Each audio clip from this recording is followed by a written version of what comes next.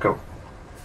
What is up guys, Guardians here, back for an excellent video. I found, well actually no, it's not me, my friend Milk and Cookies found it. It is, it is his glitch to my knowledge. He did it by himself, he wasn't told by anyone else. He found it by accident. It is a glitch that stops the meteors that cut, those two meteors that come down, stopping your way to run all the way back to the start at the end of extinction once you set the bomb off. Now this glitch will remove them from your path so you can just run straight to the chopper how you do it, uh, first of all, here's this lovely team I found in public. They've been helping me out, and uh, Pro, Armor, Pro Armor is going to be our lovely sacrificial victim.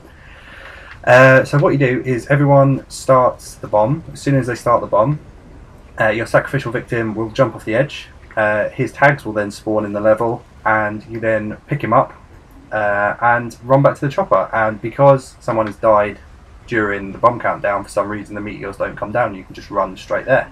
So yeah, guys, if everyone's ready, uh, armor, you know what you have to do. So as soon as the new countdown starts, just jump off the edge, and everyone take a run booster as soon as you, as soon as it starts. Okay, and go. You guys want to get your medic? Cool. So armor's going to jump off. There we go. Everyone's going to take a run booster, and his tags are going to appear in the level, and we are going to go and pick them up. Now, from what I can gather, they spawn in the same place every time because this is where they spawned last time we did it.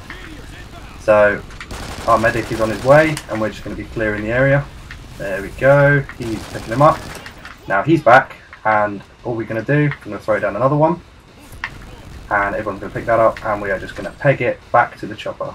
And as I said, this, found, this was found by Milk and Cookies um, and it's a fantastic glitch because now no meteor is in the way as you can see. There's still rhinos out which try and block your way but you can just give them the finger as you run past.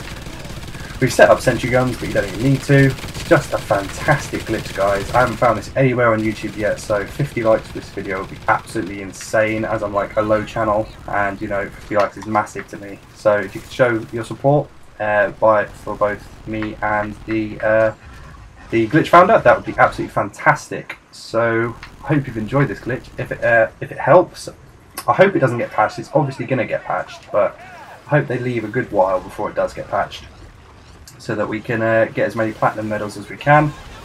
And all, as you can see, all we're doing is just absolutely pegging it back. Going to drop another booster just in case. Pick up a feral just for giggles, and just hit the extraction. So yeah, if this has been helpful, please like the video. As I said, 50 likes would be absolutely amazing. Please comment, let me know what you think.